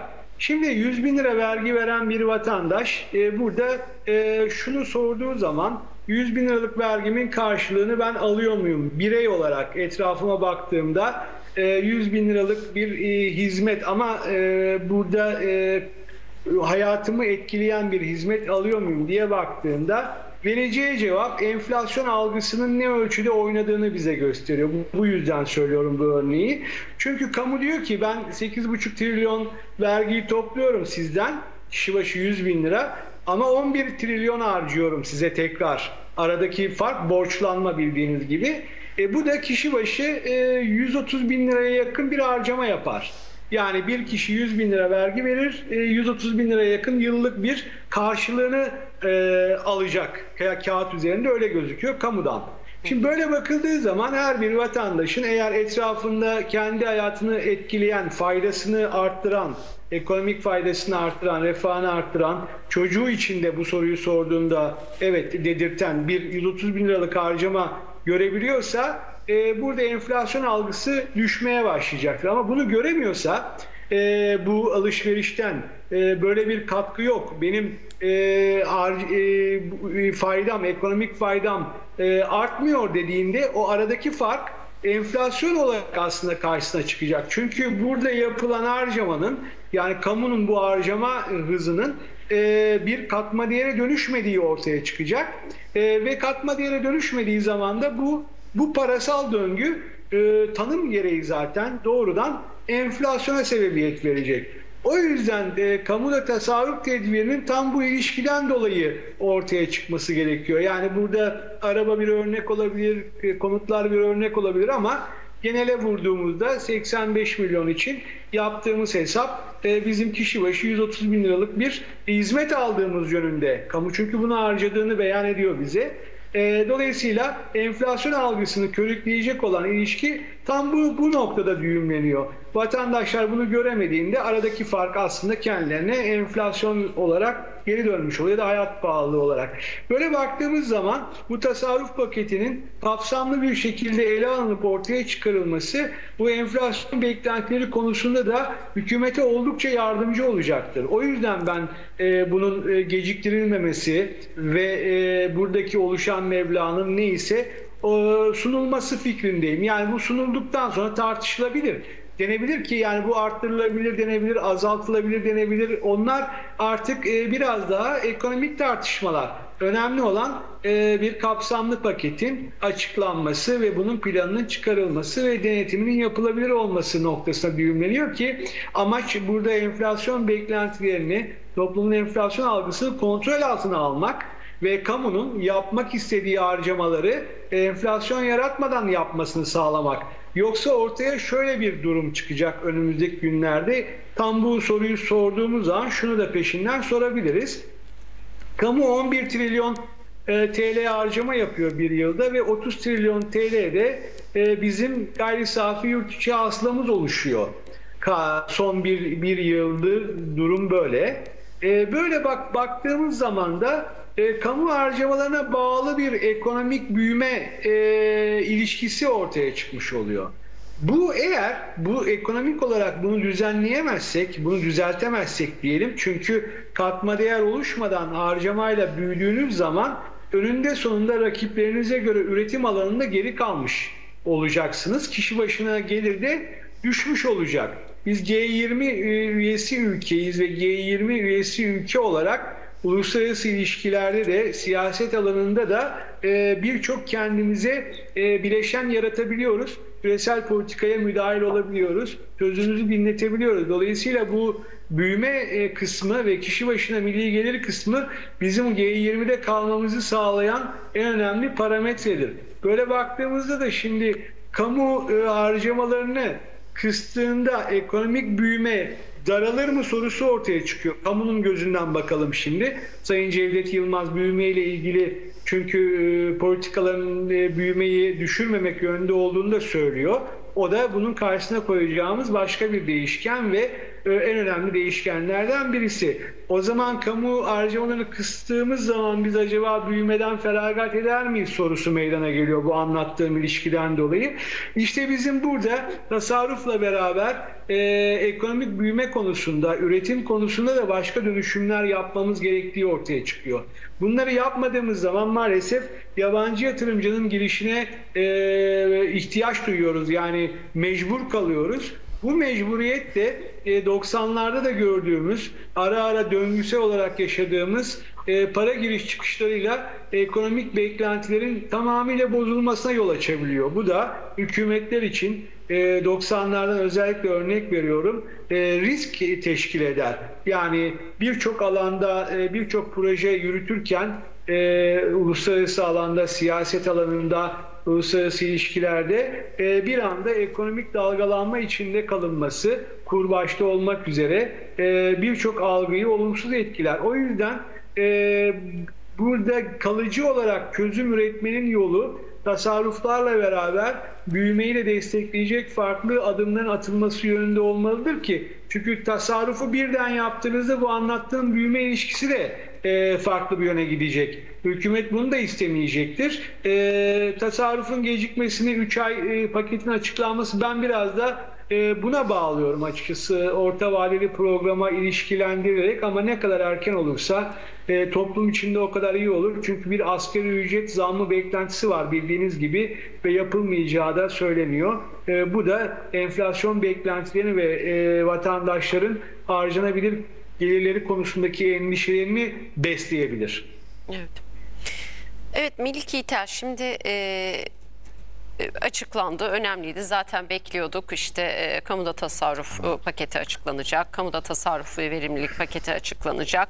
E, derken işte e, açıklandı ve tabii ki eleştiriler de var. Şimdi Ankara'da nasıl yankı bulduğunu da size soracağım ama aslında bu eleştirileri biraz e, Hazine ve Maliye Bakanı Mehmet Şimşek'in işte devamı gelecek kısmında aslında yapıcı e, değerlendirmek lazım. Örneğin Evet. e, Akşam Gazetesi Genel Yayın Yönetmeni Mustafa Kartoğlu mesela yazılım kalemini neden koymadıkları dikkatimi çekti e, ifadesini kullandı. İşte 3 yıla ilişkin hocam da e, değerlendirme yaptı ki Cumhurbaşkanı'nın az önce açıklamasından da bahsettim 3 yıl konusunda e, eleştiri değil ama yani bunun bir yaşam biçimi olması, bunun bir e, yönetim biçimi olması yönünde. Ne dersiniz? E, hem sizin değerlendirmenizi alayım hem e, Ankara'da neler konuşuluyor paketle ilgili. Ya şöyle e, ya var tartışmalar e, biraz da hani e, işte ekonomistler çok daha böyle doğru yerden de tartışıyor. Mesela Ata hocamın dediği gibi ya bu Mevla'nın aşağı yukarı ne olabileceğine dair sadece tahminler var. işte iddia o ki işte 3 milyon dolarlık e, şey 3 milyar dolarlık e, bir e, tasarruf toplamda sağlanabileceği o da TL olarak 100 milyar lira yapıyor. Kimine göre ya bu düşük kalabilir. Şimdi e, diğer tartışma konusu ya hep tasarruf paketi açıklanıyor kardeşim ama istikrar yok deniyor. Onu ben de sordum. Ee, yani e, ama Sayın Bakan'ın dediği şey şu bu paketi diğerlerinden ayıran en temel en belirleyici özellik şu burada cezai ve idari yaptırım olacak diğerlerinden farklı olarak. Yani bir genelgeyle böyle tavsiye niteliğinde değil de bir cezai ve idari yaptırım olacak. Peki o cezai ve idari yaptırım meselesine kim karar verecek? Yani diyelim ki ben bir X bakanla bağlı bir genel müdürüm. Bana bir e, tasarrufa dair bir şeyi gönderdiniz genelgeyi. Uymadım. Beni kim denetliyor? İlgili bakanlık denetleyecek deniyor. Şimdi dolayısıyla bunu bir sisteme e, bağladık deniyor ama işte pratikte karşılıklarına bakacağız. Benim bu, bu işin bir kültür haline gelmesi meselesine kesinlikle katılıyorum. Yani özellikle bu e, araç tasarrufu, bina e, kiralama, bina yapım e, ona kesinlikle katılıyorum. Yani Ankara'da yaşıyorum e, ve en yoğun hissettiğimiz yer burası. Yani hani böyle şey denir ya e, işte sıcaklık 25 derece hissedilir sıcaklık 32 derece diye. Biz o hissedilir bölümündeyiz. Yani Ankara her taraf bina. Ee, çünkü bakanlıkların hepsi burada, genel müdürlüklerin hepsi burada. Ee, işte o şeyler kullanılan resmi araçlar hep burada çocukluğumda altı arkasında yazıyordu zaten resmi hizmette mahsustur diye. O yok ama anlıyoruz resmi araç olduklarını. Şimdi dolayısıyla hani hissediliyor bu. Şimdi ben e, rol model olması açısından devletin kemer sıkmasını önemsiyorum. Yani şunun gibi bir şey ya bir evdeyiz diyelim. İşte imkanlarımız belirli ölçülerde. E, ayağımızı yorganımıza göre uzatacağız. E, işte aile bireylerini toplayacağız. Baba diyecek ki ya işte biz tasarruf yapacağız. Biraz daha dikkatli harcayacağız. Maaşı topluyoruz. Aman ha dar güne kalmayalım dediği anda baba önce başlayacak sonra çocuklar eş falan onu rol model kabul edip devam edecek. Baba bunu bize söyleyip kendi gidip har vurup harman savurursa olmaz. Dolayısıyla devletin yapması o anlamda benim için önemli. Yani bir rol model. Bak devlet de sıkıyor kemeri. Dikkat ediyor. Ee, ey vatandaş Melik sen de harcarken biraz dikkat et. Ee, mesajını ben aldım. Yani fotoğraf altı mesajını aldım. Ee, ya uygulamayı birlikte göreceğiz. Ee, işte devamlılık, Ata Hocam'ın çizdiği çerçeve üzerinden bu meselenin bir sisteme bağlanması meselesi e, bunlar önemli hususlar ama netice itibariyle e, bir kararlılık vurgusu yani ekonomideki hedefleri tutturma açısından bir kararlılık göstergesi hele Sayın Cevdet Yılmaz ve Sayın Şimşek'in basın toplantısında bunu böyle iştahla e, anlatması bir kararlılık vurgusu açısından da bence önemli. E, ama dediğim gibi uygulama bölümünde neye ne kadar riayet edildi ya da nerede bu o, aşıldı ve o ceza idari yaptırım uygulanacak mı ki uygulanmalı? E, bunu pratikte tabii hep birlikte görmemiz gerekiyor. Evet. Şuay Hocam e, o kadar çok konuşuldu ki bunu size de soracağım. Dedi ya demin Melik Yiğitel bildiği yerden soruyorsunuz Şuay Hoca'ya diye. Vallahi şimdi e, sağ olsun Ata Hoca, e, Melik Yiğitel ilk konu üzerine, e, Ata Bey de son konu üzerine gerçekten o kadar net çerçeveler çizdi ki takip edemediğim bütün konular artık kafamda oturmuş durumda. İkisine de bu bağlamda teşekkür ediyorum. Tabii kamuda tasarruf tedbirleri yani e, ekonomi uzmanı değilim ama e, bendeki yarattığı hissiyat daha çok şöyle ve ben bunun da aslında önemli olduğunu düşünüyorum. Melik Bey de onu son kısımda söyledi. O evin babası metaforunda e, şöyle bir gerçeklik var. Yani zorlu bir süreçten geçiyor. Türkiye enflasyonla mücadele, işte kronik sorunlar ekonomideki derken sonuç olarak devletin böyle bir tedbir tasarruf e, tasarruf tedbiri alması e, bir kere e, bence hem bu işin ekonominin iletişimi açısından önemli hem de bize hissettirdiği açısından önemli. Çünkü kamu tasarruf yaparken bizim de yani bireysel olarak bizlerin de tasarruf evet, noktasında evet. eğilim göstermesi açısından tetikleyici bir özelliği var. Bunun ötesinde de çok yoğun eleştiriler vardı e, son dönemde özellikle de izlenen politikalarda hani birey olarak mı bunun bedelini ödüyoruz gibi bir algı ve yaklaşım vardı. Ben kamuda tasarruf tedbirlerinin bu bağlamda da e, o açıdan da e, herkese için bir iç rahatlatıcı e, hamle olduğunu düşünüyorum. E, açıkçası e, bu noktada şunu da söylemek lazım. Bizim kamuda tasarruf tedbirleri hep konuşuyoruz. E, yurt dışındaki basında da yankı buldu. Bu anlamda e, zaten işin iletişim kısmının iç kamuoyu dışında Atı Hocam daha bilir dış kamuoyu açısından da bir önemi var. Çünkü e, özellikle işte Türkiye'nin kredi notu tartışması birçok konu anlamında yatırımcı tartışmaları anlamında da e, bu evet. bağlamda kıymetli. Hatta şunu söyleyelim e, Sayın Mehmet Şimşek'in birkaç gün önce Brüksel'de de önemli bir konferansı ve toplantıları var. Bu noktada da kendisine konferansa yöneltilen sorular içerisinde de tasarruf tedbirleriyle ilgili bazı başlıklar vardı. Dolayısıyla e, bence önemli. Zaten ekonomi uzmanı ve süreci daha iyi bilen Atı Hocam bunu kendi açısından yorumladı. Ama benim de bir nacizane e, vatandaş olarak iki boyutuyla gördüğüm açıdan önemli. Umuyoruz ki başarıyla sürdürülebilir. Evet. Ee, şimdi biraz önce e, haber müdürümüz İbrahim Güneş de göndermiş işte e, biraz sabırlı olup daha az tüketmek. Şimdi bunu burada hep konuşuyoruz. E, bence bu daha az e, tüketmek kısmı zaten e, Ata Hocam bana katılırsınız diye düşünüyorum. Sadece bu enflasyon sürecinde o işte topyekün e, bahsettiğimiz mücadelenin dışında da işte artık e, doğa içinde, kaynaklar içinde bu e, daha az tüketme durumu, bu tasarruf etme durumunu e, hem kamuda hem özelimizde zaten e, yaşam biçimi haline artık getirmek e, zorundayız. Çünkü her anlamda e, tehlike çanları bence fazlasıyla çalıyor. Örneğin Mayıs ayı için şimdi baktığımızda ya mevsim normallerinin çok üstünde bir ısıyı konuşuyoruz ya mevsim normallerinin çok altında. Yani e, bu bile artık bize hani bırakalım enflasyonu bir kenara e, daha az e, tüketmek, daha tasarruflu olmak e, noktasında sizce sinyal vermiyor mu hocam? Ne dersiniz? Teorik konusu e, tabii ekonomi teorisinde yer aldığı için e, konuşulması gereken bir konu. Çünkü teorik olarak e, çok miktarda tüketildiğinde bir e, tüketicinin faydasının arttığı varsayılır e, ürünlerde. E, bu e, aslında tartışılması gereken bir konu. Bütün e, ürünler için ya da bütün üretimler için geçerli midir? Ya da bu şekilde e, öğretilmeye devam mı etmelidir?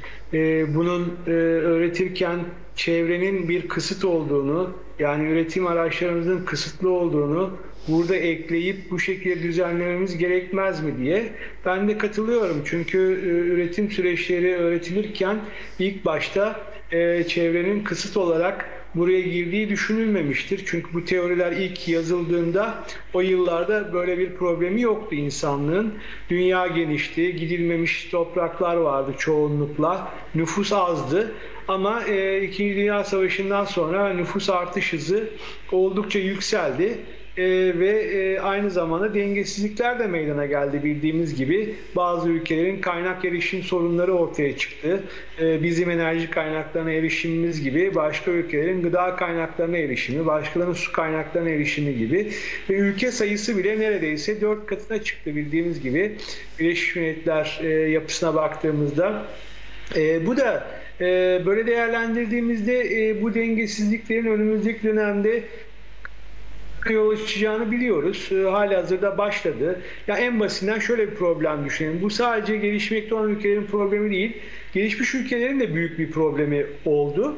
Çünkü dünyanın kalabalık nüfuslarının nasıl e, beslenebileceği problemiyle dünyanın kaynaklarının büyük çoğunluğunu e, kullanımlarında tutan bu gelişmiş ülkeler e, uğraşmaya başladılar. Yani ne olur da biz bu kaynakları hala kullanımda tutarız kendi uhtemizde ama e, bu, bu kaynakların üzerinde oturan e, artan nüfusu e, doyurmaya devam ederiz ki bir e, aksi durumla karşılaşmayalım. Bir e, isyan veya başka türlü bir durum diyelim. E, kendi çıkarlarını koruması o toplumların e, gelişmiş ülkelerin bakış açısıyla durum böyle özetlenebilir. E, böyle bakıldığında gıda başta olmak üzere birçok üründe sağlığına e, zararlı olup olmadığı bilinmeyen yöntemler geliştirildi. Bunlar e, çoğunlukla sorgulanmıyorlar.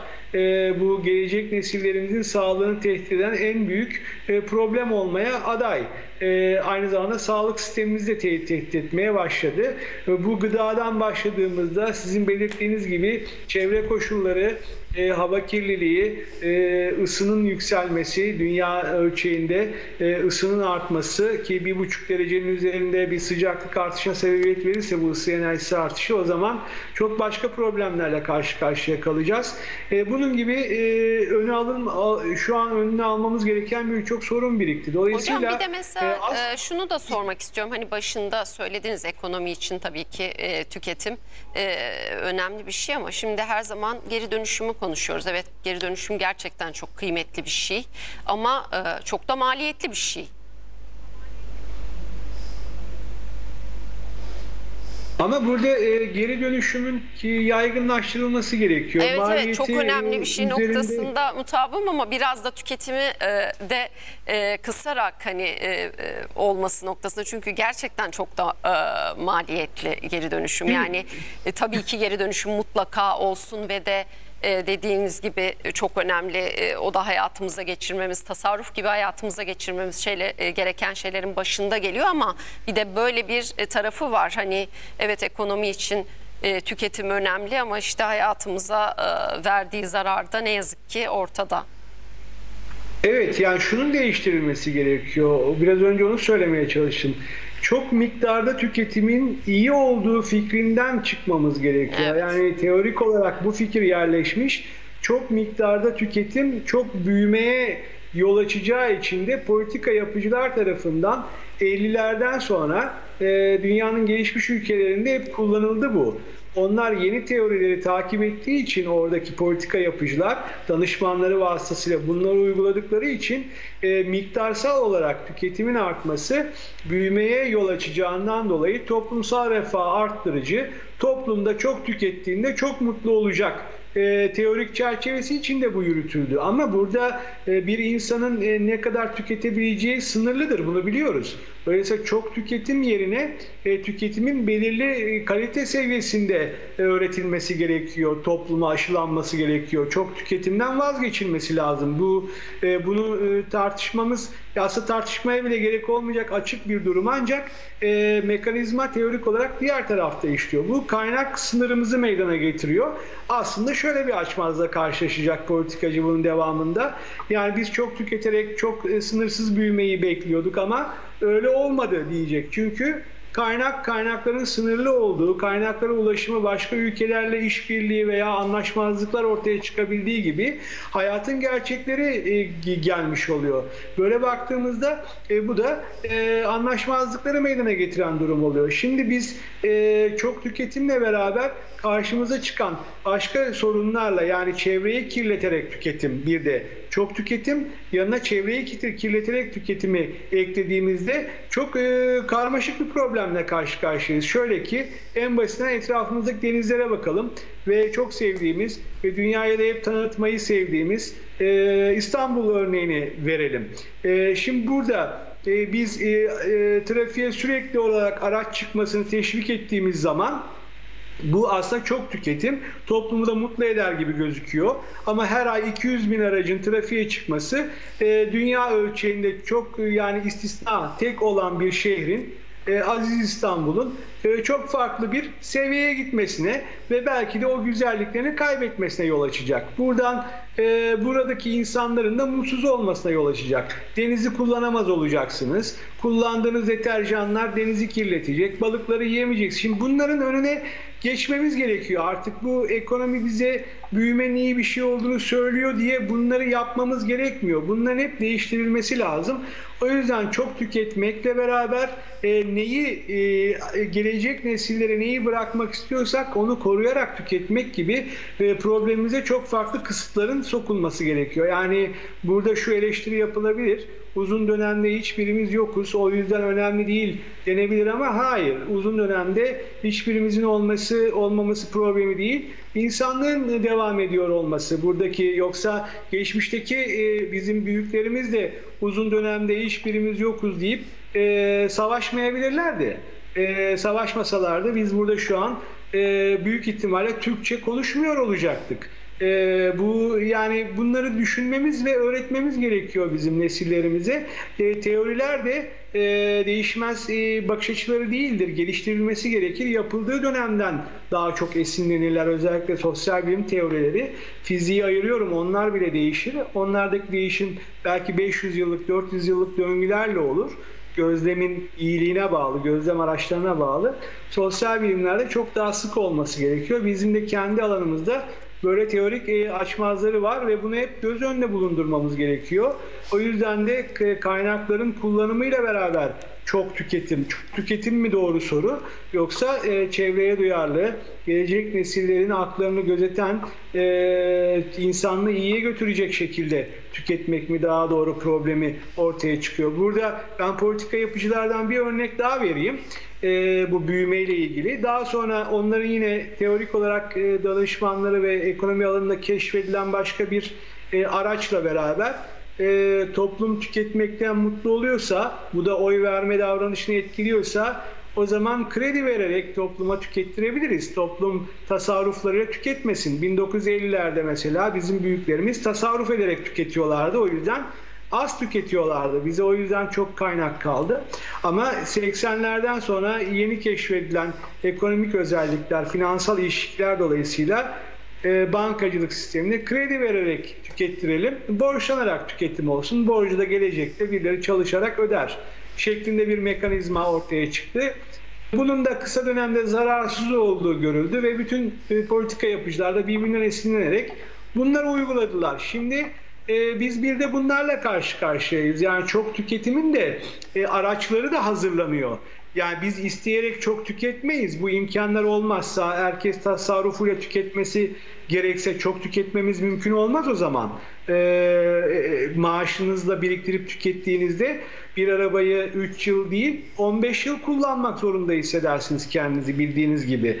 Öyle baktığımızda e, bunların değişmesi ben de temenni ediyorum ama e, zaman alacak gibi gözüküyor. Çünkü oldukça kolay bir e, ekonomik harcama ve tüketim sistemine doğru kay, kaydığımız gözüküyor.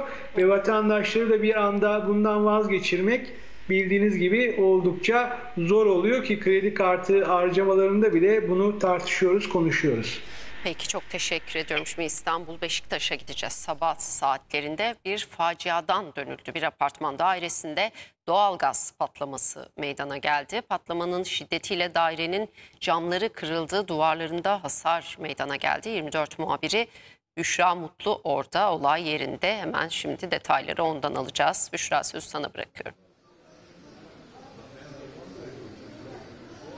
İyi yayınlar dileyelim öncelikle. Evet e, bizler şu anda kameraman arkadaşım Dursun Şahin'le birlikte patlamanın yaşandığı o noktadayız. Aslında sizin de ifade ettiğiniz gibi bir e, facianın eşiğinden dönüldü de diyebiliriz. E, burası e, Beşiktaş'a bağlı e, Türk Ali Mahallesi İmamzade Sokak bir ara sokak olduğunu söyleyebilirim buranın. E, ilk belirlemelere göre 5 katlı binanın 3. katında bir doğal gaz patlaması meydana geldi. Fakat e, tesisatta mı bir sorun var veya bir ihmal, bir unutkanlık mı söz konusu? Bununla ilgili kesinleşmiş bir durum yok henüz. E, bina oldukça hasar almış görünüyor. E, polis ve itfaiye ekipleri de bir yandan buradaki çalışmalarını sürdürüyorlar. Şu anda da kameraman arkadaşım Dursun Şahin de size e, o e, görüntüleri aktarıyor. E, patlamanın sebebi henüz bilinmiyor. Biraz önce de ifade ettiğim gibi tabii patlama sonucu e, camlar, çerçeveler, e, duvar parçaları yola fırladı ve patlamanın etkisiyle çevredeki binalardaki dairelerin de aslında camları kuru, kırıldı. E, burada e, sokakta yerlerde hep cam kırıkları ve çerçevelerin olduğunu söyleyebiliriz. Sizler de aslında şu anda görebiliyorsunuz. E, evet bu binanın aslında geçtiğimiz aylarda tadilata girdiğini öğrendik. Mahalle sakinlerinden edindiğimiz bilgiye göre de binada sadece bir kişi kalıyordu. Onun da görevli olduğu gelen bilgiler arasında. E, evet maalesef son dönemlerde de İstanbul'un farklı ilçelerinde bu son bir ay içinde yanılmıyorsam e, üçüncü doğal gazdan kaynaklı bir patlama yaşandığını söyleyebilirim. Tabii şans eseri o esnada patlamanın yaşandığı anda yoldan e, kimsenin geçmiyor oluşu bir faciayı, bir ölümü engelledi diyebiliriz. Zira burası oldukça işlek bir e, güzergah. E, yine patlamanın yaşandığı binada da e, herhangi bir can kaybı yaşanmadığını da belirtelim. En azından şimdiye dek öyle bir bilgi elimize ulaşmadı. E, dileriz ki böyle kötü bir haberde sizlerle paylaşmamış oluruz.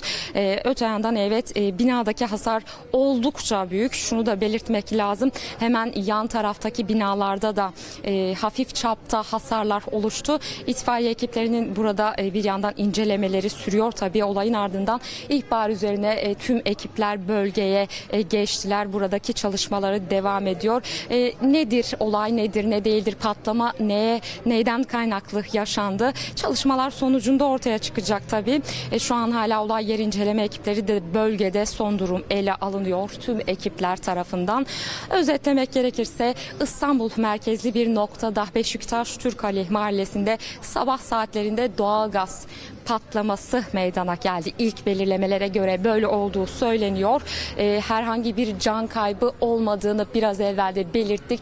E, binalardaki camların kırıldığını söyleyebiliriz. Yine e, kırılan camlar ve düşen beton parçaları aşağıda bulunan araçların üzerine düştü ve araçlarda da hasar meydana geldi. Ekipler burada çalışmalarını sürdürüyor diyelim ve size dönelim. Evet İstanbul Beşiktaş'ta sabah saatlerinde bir doğal gaz patlaması meydana geldi dedik. Olayın ayrıntılarını 24 muhabiri Büşra Mutlu Çevik aktardı. Bize çok teşekkür ediyoruz. Kameraman Dursun Şahin'le beraber kolaylıklar diliyoruz ve e, konuklarımıza da teşekkür ederek analiz sentezi noktalıyoruz. Türk Medya Ankara temsilcisi Melik Yiğitel, Galatasaray Üniversitesi öğretim üyesi doçent doktor Ata Özkaya ve Ankara Acıbayram Veli Üniversitesi öğretim üyesi doçent doktor Şuayn İlhan Açıkalın. Değerli vaktinizi ayırdığınız için, katkılarınız için için çok çok teşekkür ediyorum. Analiz sentezi noktalıyoruz. Hoşçakalın. Amin.